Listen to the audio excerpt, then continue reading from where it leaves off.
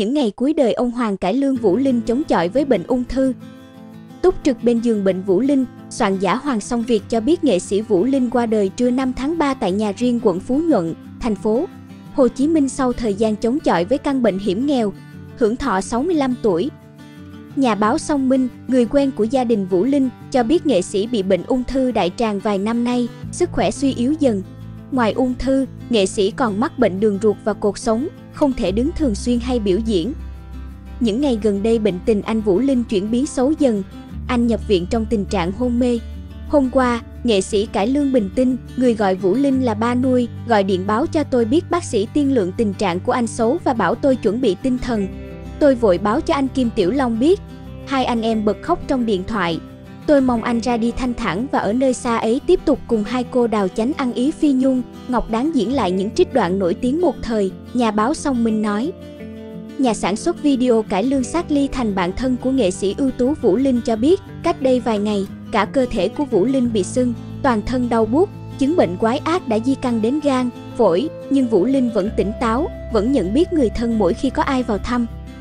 Trước khi qua đời, nghệ sĩ Vũ Linh đã có thời gian chiến đấu với bệnh tật hiểm nghèo. Theo lời một người thân, bệnh tình của nghệ sĩ Vũ Linh chuyển nặng trong thời gian gần đây, có lúc phải nhập viện trong tình trạng hôn mê.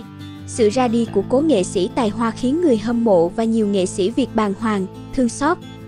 Từ năm 2019, nghệ sĩ ưu tú Vũ Linh đã ngừng hoạt động nghệ thuật vì tình hình sức khỏe không đảm bảo. Nam nghệ sĩ mắc bệnh đường ruột kéo dài nhiều năm khiến sức khỏe ngày càng xa sút. Ngoài ra, ông còn mang chứng bệnh cột sống, không thể đứng lâu, gây trở ngại công việc biểu diễn. Nam nghệ sĩ không có vợ con nhưng được con nuôi và các cháu chăm sóc tận tình khi về già.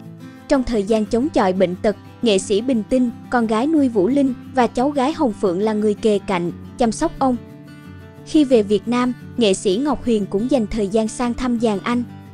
Các đồng nghiệp thân thiết như Lệ Thủy, Thoại Mỹ thường đến thăm nghệ sĩ Vũ Linh. Nhìn thấy Bình Tinh ân cần chăm sóc cha nuôi, Thoại Mỹ chia sẻ, con gái Bình Tinh dù nhỏ xíu nhưng rất nhanh nhẹn, chăm sóc ba rất cẩn thận, chu đáo.